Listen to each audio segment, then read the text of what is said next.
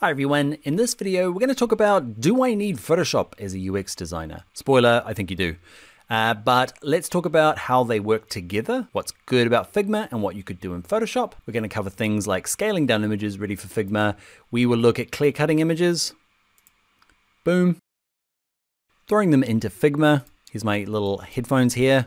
Cutting out people and probably some of the monotony and let Photoshop take a lot of the work away for like extending backgrounds. You got places for text and logos and filling hero image boards. All right, all of that and more in this tutorial. Let's jump in. All right, uh, to get started, let's answer the biggest question. Do I need Photoshop skills to become a UX designer or a UI designer? My humble opinion is yes. It's just my opinion.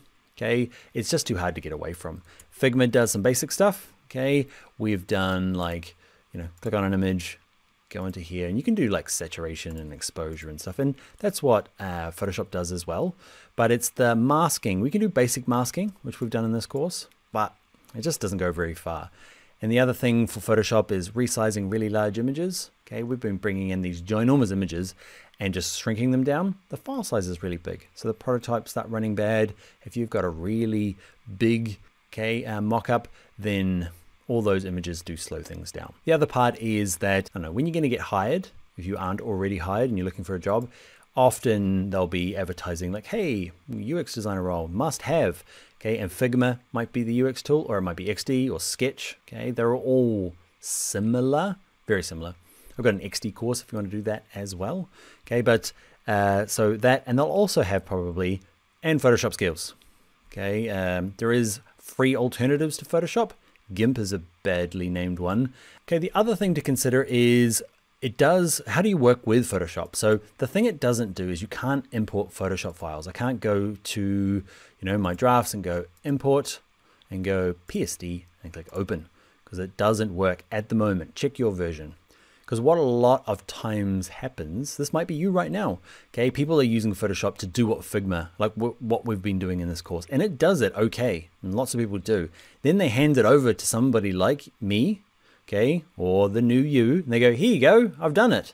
And you're like, oh, to prototype this thing, there's no like open Photoshop file, add prototyping. You got to rebuild it, which is no fun.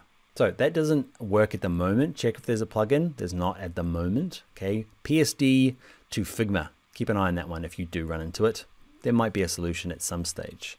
So what we end up doing is in Photoshop, just making stuff and then exporting it for Figma. So what I want to do is run through a few exercises of what would be awesome, or like some of the, you know, the unique good things about using Photoshop to get into Figma. Now this is going to be a bit whirlwind. Uh, this is not a Photoshop course. I just want to throw in some stuff because I want to show you how you kind of get files for back and forth for the people that are experienced and the people that aren't. I want to I want to try and sell you my uh, my Photoshop course. I got a Photoshop Essentials and Advanced.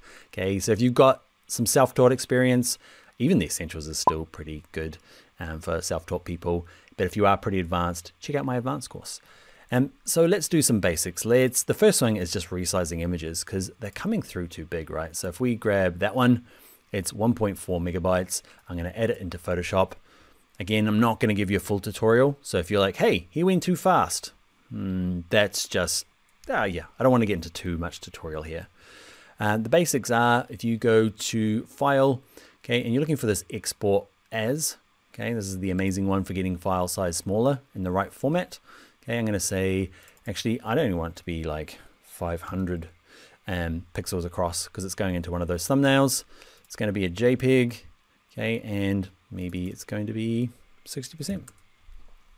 And then you export it, okay, and I'm going to stick mine on my desktop, messy that up, been trying to keep it nice, and then you can just import that file.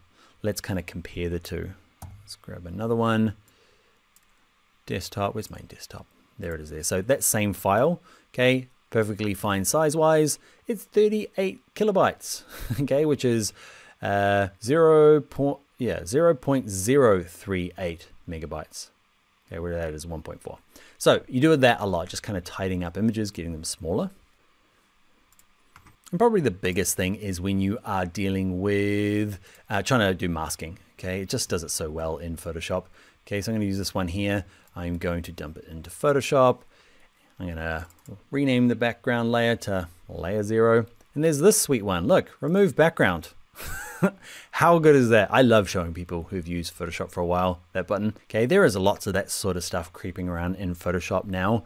Okay, so if you haven't given yourself some professional development in Photoshop, or if you've done my course, high five you. You might have already. Ready? High five. Here you go. Okay, but if not, even if it's not my courses, go through the what's new in Photoshop. Okay, it's on the Adobe site. It'll kind of give you a, a kind of a skim down version of what's come out since 2004 when you last updated yourself. So how do I get this into Figma now? Couple of ways. Uh, the way we just did is probably a good way. Because this has transparency, all we really need to do here is go, actually, the size can get smaller. Not 100, it's too small. And the format just needs to be a PNG. This one will bring through the transparency, and that's really what we want. Size-wise doesn't really matter. Okay, I'm gonna export it, stick it onto my desktop, messy that desktop up, and then in Figma, I'm gonna go Command Shift K or Control Shift K. Um, where are we? Desktop. Where's that guy? Come on in. What him to him? Not sure what I did there. Click once. There we go. Even a thousand pixels is pretty big, right? Use the K for scaling. Okay. Oh, you see it. It's already there. I do a little demo just to run through it um, before. so it's a little bit more fluid than the ums and the ahs. But anyway, I stuck it in between some stuff here to, I don't know, Just try and look cool.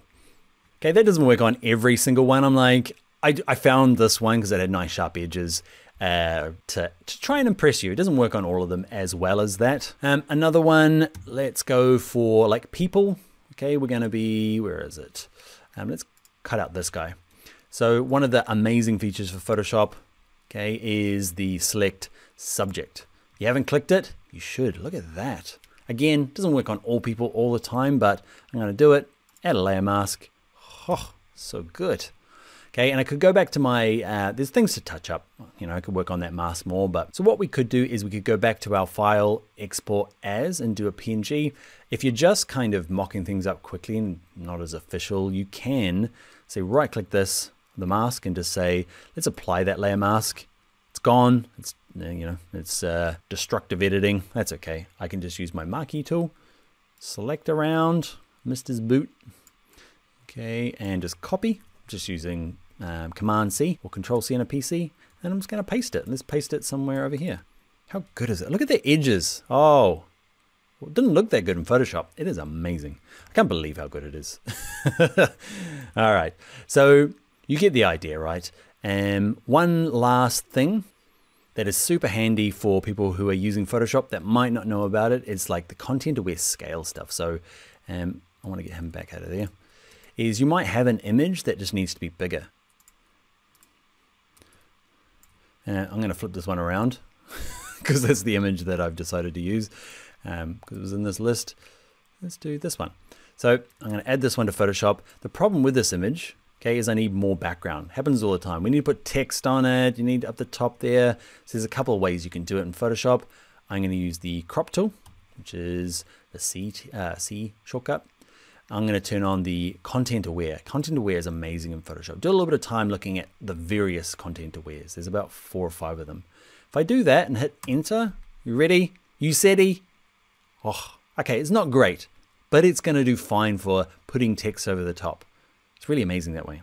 There's another way of doing it if that doesn't quite work or you get some weird stuff. I'm going to use that crop tool again. Okay, I'm going to turn off content aware. I'm just going to make it bigger because, you know, let's say you want a really big weird banner at the top or a hero image, okay, along the top of your hero image.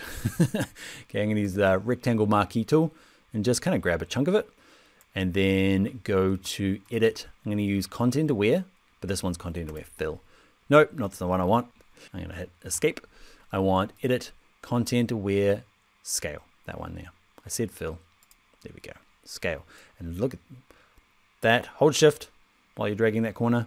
You just kind of like make stuff bigger. It has to be like backgroundy, blurry stuff. It doesn't work on everything, but that is good. Again, I could just copy and paste this now because I haven't really done any sort of transparency. So copy into Figma, maybe on my desktop version. Okay, I've got this nice big hero image. All right, I'm messing things up. Let's go shift two. You get the idea, right? Let's drag it out. Nice big weird shape. Okay, I'm gonna go paste. Will it go in straight in? It does. Look how good we are. Some sweet Photoshop skills combined with some sweet uh, Figma skills, professional UX designers, me and you. Okay, that was a long one. I just wanted to touch on some of the Photoshop things that might be useful if you're already a user. I know a lot of you already are. And I picked some super exciting ones that definitely worked in this tutorial, main just to see if, you know, come do the course. It's exciting. Cross out over. All right, uh, that is Figma and Photoshop. I'll see you in the next video. All right, that is it. I hope you enjoyed the video. Uh, consider giving it a thumbs up uppy likey thing and also consider subscribing to the channel. I've got lots more Figma tutorials here. Also, if you do want to go further with Figma, I've got a full course called Figma Essentials. Uh, check out the card up here or link in the description. All right, bye for now.